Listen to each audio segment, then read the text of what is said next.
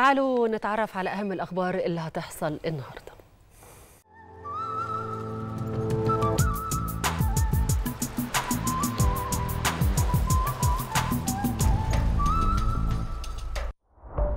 أخبار كتير هتحصل النهاردة. النهاردة هيتم عقد مباحثات بين وزير الخارجية بدر عبد العاطي ونظيره التركي في قصر التحرير يتبعها مؤتمر صحفي. يذكر أن وزارة الخارجية أعلنت أن وزير الخارجية التركي هاكان فيدان هيزور مصر في زيارة رسمية تستمر يومين وأضافت أن الزيارة ستشهد لقاءات مع المسؤولين المصريين لمناقشة العلاقات الثنائية والتطورات الدولية والإقليمية الراهنة.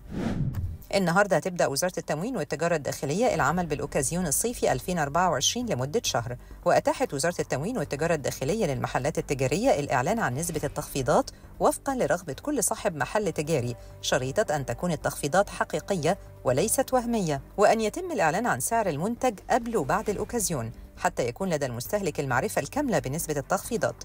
كما حذرت الوزارة من التلاعب في الأسعار أو الإعلان على عكس الحقيقة. لعشاء الكرة المصرية موعدهم النهارده مع المباراة المؤجلة من الجولة 22 من عمر مسابقة الدوري المصري. هيلتقي الزمالك مع امبي في تمام الساعة السابعة مساء. النهارده أيضا هتقام مباراة منتخب مصر وفرنسا في نصف نهائي أولمبياد باريس في العاشرة مساء على ملعب جروباما ستاديوم.